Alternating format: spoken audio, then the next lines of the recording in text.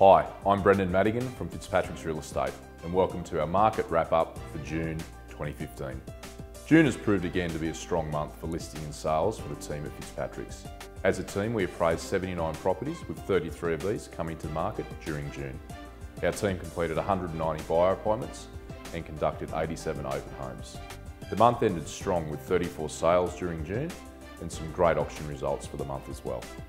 We're starting to see vendors planning for the spring campaigns and over the next few months we will start to see things heat up in the local market. The team has some great listings that have come to the market recently, which include Helen Woodhouse's listing at 24 Pudginook Place in Bourkelands. Um, those with an eye for detail will certainly be captivated by this one. Paul Gooden has an amazing lifestyle property on the river at 110 Flowerdale Road.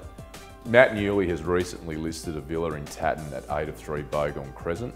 Uh, this is in a nice little secure complex. Andrew McLeod's got a great listing at 9 Parsi Close. Uh, it's a quality home in Lake Haven. Uh, it's a prestigious location set on a large 1,089 square metre block.